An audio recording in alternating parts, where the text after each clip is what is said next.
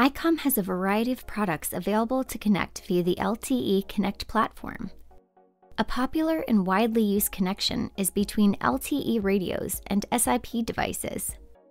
LTE radios, like the ICOM IP501H radio and the IP501M mobile radio, function as conventional two way radios with the capability to work nationwide, anywhere that cell phone coverage exists, by connecting through a 3G or LTE network. SIP devices are phones that are typically used in an office setting. SIP phones, like the Grandstream, work off your internet and allow the user to make voice calls over IP networks. To connect LTE radios and SIP phones, use the ICOM VE PG4 gateway unit.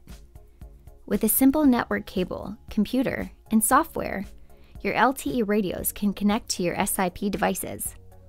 For every one VE PG4 gateway unit, your team can connect up to 50 IP100 radios and up to four concurrent connections to LTE devices and up to 25 SIP devices.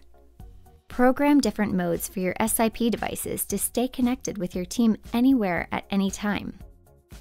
Use specific dial sequences to connect an IP line call to individual radios, IP line call to radio talk groups, and more.